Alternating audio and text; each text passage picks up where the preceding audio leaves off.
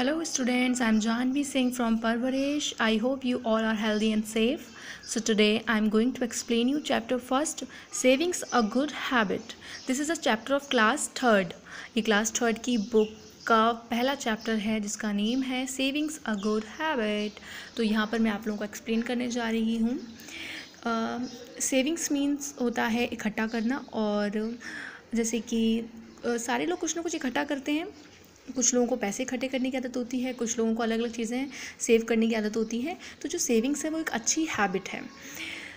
So let start a long time ago there lived a boy named Hardik बहुत समय, एक एक समय की बात है या पुरानी बात है, एक हार्दिक नाम का लड़का रहता था। He was a decent and intelligent boy वो एक डिसेंट और बहुत ही इंटेलिजेंट बच्चा था।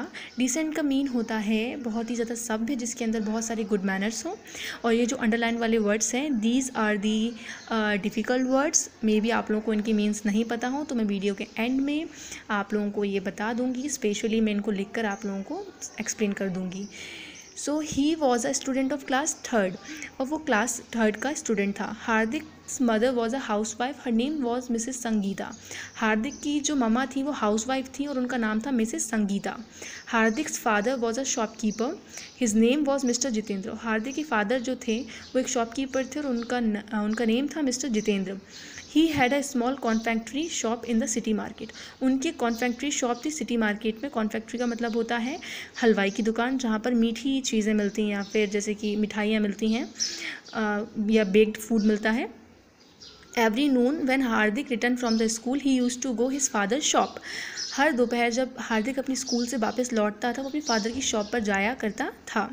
His father use to give him a candy every day उसके फादर उसको एवरी डे कैंडी दिया करते थे।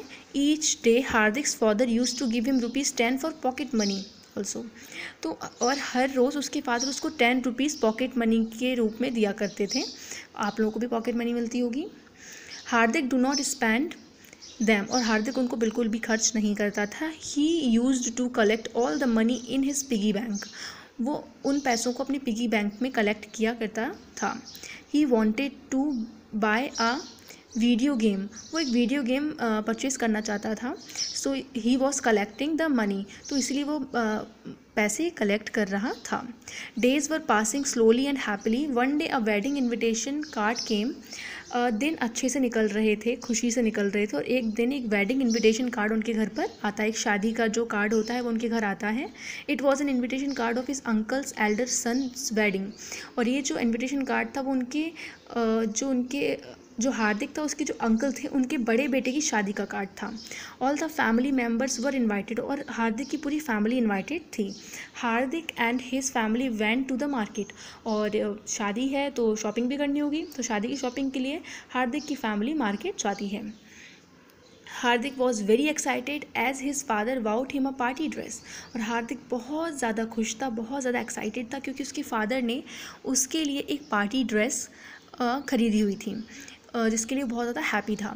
Hardik's mother purchase the sari और हार्दिक की मदर ने एक साड़ी परचेज की थी और Mr Jitendra like the shirt very much in the market और मिस्टर जितेंद्र को मार्केट में एक शर्ट बहुत ज़्यादा पसंद आया था।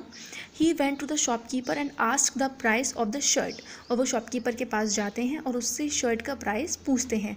The cost of the shirt was rupees five hundred और शर्ट का प्राइस था five hundred Mr Jitendra search for the money in his pocket Mr Jitendra अपनी पॉकेट में पैसों को ढूंढते हैं.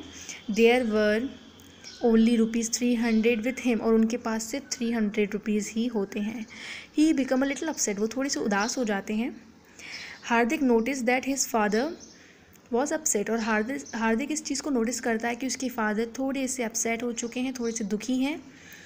और he knew that his father like the shirt very much very much and he want to buy it Hardik जानता है कि उसके फादर को ये शर्ट बहुत ज़्यादा पसंद आई है और वो उसको सच में ख़रीदना चाहते हैं but Mr Jitendra hid all the sorrow inside him और पर मिस्टर जितेंद्र के पास पूरे पैसे नहीं होते, इसलिए वो थोड़े से अपसेट होते हैं और वो अपना पूरा, अपना दुख जो होता है वो अपने अंदर ही छुपा लेते हैं। यहाँ पे जो हिड है एच आई डी हिड है, इसका means H I D height से है। तो वो अपना जितना भी सौरू है, वो अपने अंदर ही छुपा लेते हैं। तो अब आप लोग मुझे बताएँगे, अब आगे क्या होगा? ये वीडियो अभी यहीं पर एंड होती है। अब आप लोग मुझे, आप लोग गैस कीजिए कि हार्दिक अब कैसे अपने फादर की हेल्प करेगा। नेक्स्ट वीडियो में आप लोगों को वो भी एक्सप्लेन करूँगी। ओके सुबह बाय